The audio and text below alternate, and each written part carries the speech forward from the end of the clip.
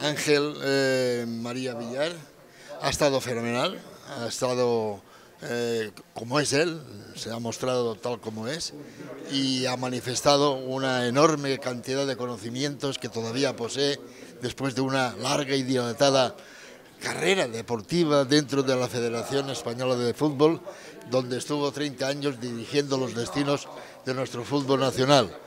Creo que los periodistas han, han hecho las oportunas eh, dudas y también preguntas.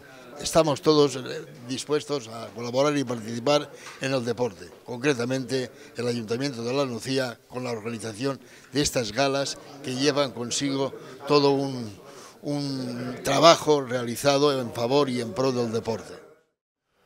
Pues eh, a nivel personal supone muchísimas cosas porque eh, la Asociación de la Prensa Deportiva, que tantos años he estado pues, colaborando con ellos cuando era presidente de la Federación Española de Fútbol, que se acuerden de uno ya cuando estás jubilado, tienes 73 años, pues te da una gran alegría.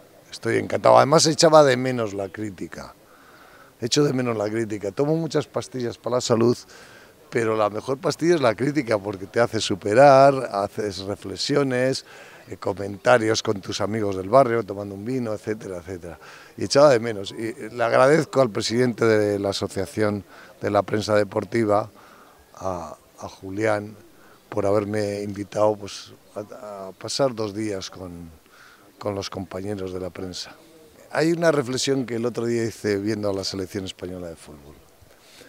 Cuando yo jugaba al fútbol, o cuando salía, eh, a los 32 años eras viejo, ya te tenías que retirar. El otro día metió un jugador de 32 años, José Lu, dos goles en la selección española, cuando eres elegido entre todos los jugadores mejores que hay en España. Y que a los 32 años un señor defienda los colores de la selección nacional y meta dos goles, es, ahí se demuestra el nivel del fútbol español y el cambio del fútbol. Ha evolucionado muchísimo y gracias a Dios hoy la, la mujer es una actora de, este deporte de una gran trascendencia. Lo que sí es cierto hay que, es, hay que estar encima de, de, la dirección de, este sector del fútbol y además hay que apoyarlos eh, económicamente.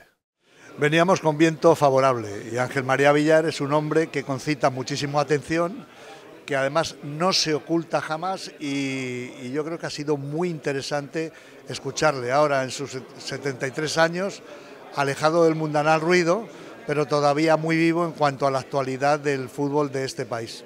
Él nos dijo, podéis preguntar lo que queréis, que yo contestaré lo que me dé la gana. Exactamente ha sido así. Yo entiendo que haya cuestiones en las que no pueda profundizar. Hemos visto que en su retirada eh, es un pensador, me acaba de enseñar a seis libretas donde lo apunta todo y me parece que antes era un personaje público y ahora creo que es un personaje extraordinario.